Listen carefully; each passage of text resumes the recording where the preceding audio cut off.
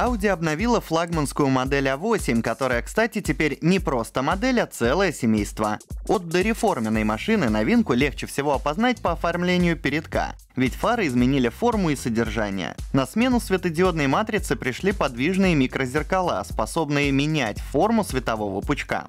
Задние фонари обзавелись начинкой из органических светодиодов, что умеют включать предельную яркость, если другой участник движения подъезжает сзади слишком близко. Кстати, при заказе машины нужно выбрать один из двух вариантов рисунка.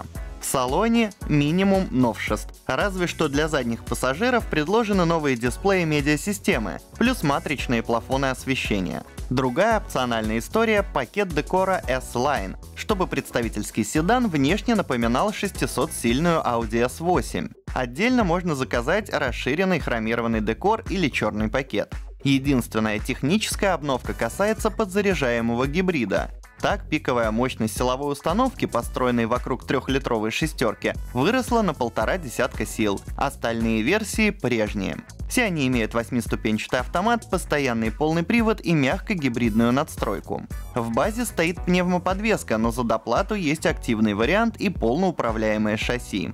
Увы, но обновление не принесло долгожданного мотора W12, а давно обещанный автопилот третьего уровня пока остался несбыточной мечтой. Что касается семейственности, отныне восьмерка состоит из упомянутой S8 и сразу трех вариаций по длине. Стандартный, удлиненный и теперь вдобавок сверхдлинный. Если Mercedes-Benz использует для роскошной версии своего S-класса суббренд Maybach, то Audi решила вспомнить марку Hörg. Сам бренд Hörg почил почти столетия назад, а теперь под забытым именем решено именовать растянутую версию длиннобазной А8. Топовый седан помогут опознать оригинальные 20-дюймовые колеса, фирменная решетка радиатора, богатый хромированный декор, плюс хорошо заметные логотипы Херха на задних дверях и ступицах колес. Главная особенность интерьера в конструктиве задней части. Там есть раздельные кресла, массивный центральный тоннель, охлаждаемые подстаканники и небольшой тачскрин медиасистемы.